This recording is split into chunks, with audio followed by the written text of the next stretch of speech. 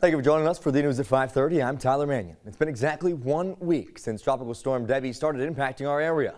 Since historic flooding from the storm has damaged many houses. Our Mackenzie Baker spoke with one family who lost their home to floodwaters and is now also facing a difficult business decision.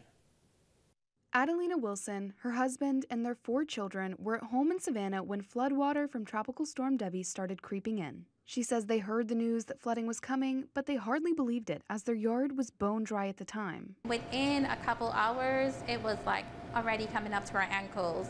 Like, what just happened? We try to grab what we can. I'm like, we need to go. This, we have to go. With their house destroyed, their only choice was to find a temporary place to stay while looking for a new home. In the middle of the flooding chaos, the family also has not one, but two businesses to run. The Wilsons own Happy Days Ice Cream Parlor. They have one location in Bloomingdale and another in Guyton. Because everything they own in their home got damaged in the flood, the family is deciding whether they have to close one of their shops. It just feels like a setback, but at the same time, it's needed to make keep making 10 steps forward eventually in the future.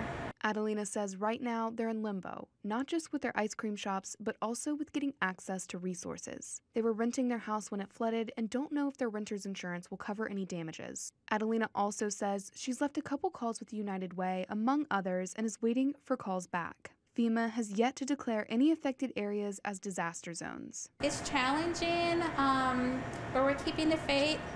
Um, what we're grateful for is that we all have each other, we're all safe.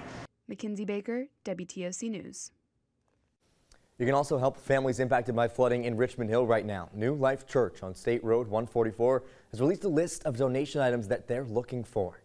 They say they're looking to get personal hygiene items like soap, toilet paper, and toothpaste, as well as non-perishable foods like Gatorade, cereal, and energy bars, along with baby items like wipes, diapers, and formula. You're asked to drop those off at the church on Highway 144 in Richmond Hill. If you're looking to do that, we've got First Alert meteorologist Jamie Ertle in with us. Jamie, what's the weather looking like for the upcoming few days? Well, it's looking good for this evening